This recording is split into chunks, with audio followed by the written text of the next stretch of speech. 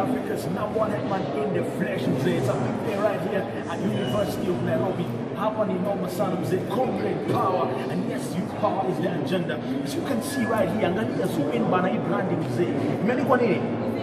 Nguvu sana.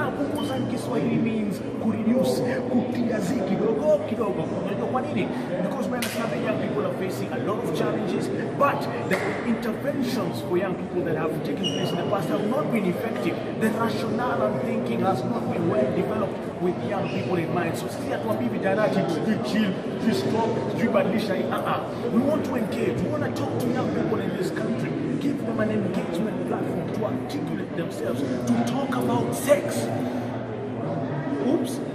About sex. Yes, you had it right. It's very important. Why? Because young people having sex. But we need to be able to encourage young people to engage in sexual activities responsibly if they must. That's what Punguza is about. It's a systemic, step-by-step approach.